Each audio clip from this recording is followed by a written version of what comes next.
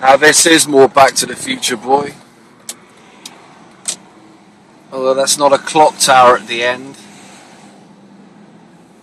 It is the oldest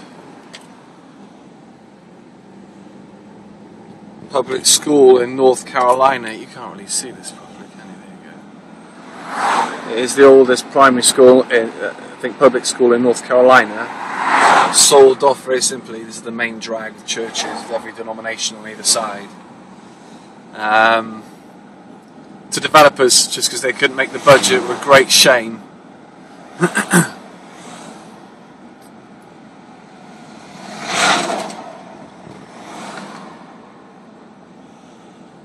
it is it is back to futuristic and oh look they've got some Crimbo deckies up on there as well